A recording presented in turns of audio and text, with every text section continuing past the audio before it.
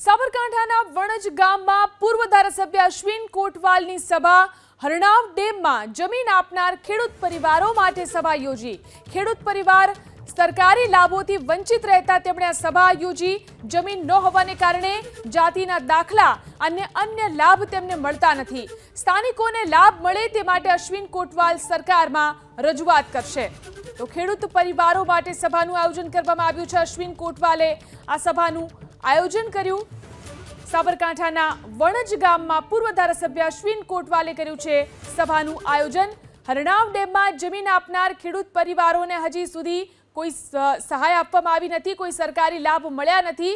ત્યારે તેમના માટે આ સભાનું આયોજન અશ્વિન કોટવાલે કર્યું. તો જાતિના દાખલા અને અન્ય લાભ પણ આ પરિવારોને નથી મળ્યા. સ્થાનિકોને લાભ મળે તે માટે અશ્વિન કોટવાલ સરકારમાં રજૂઆત કરશે.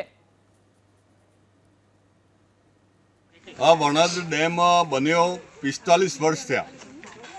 જે અસરગ્રસ્તોને પુનઃ વસવાટ માટેની જે વ્યવસ્થા કરવી જોઈએ, જેમની જવાબદારી છે કરી શક્યા નથી.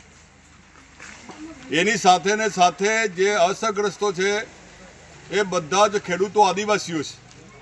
એમણે જ્યારે જાતિનો દાખલો લેવો હોય તો એમને આદિવાસી તરીકેનો તો તોતેર ડબલ એની કલમ લાગેલી હોય, સાત બારના ઉતારામાં આવતી હોય, તો જ એ આદિવાસીનો દાખલો મેળવી શકે એમની જમીનમાં તોતેર ડબલ એ આવતી નથી.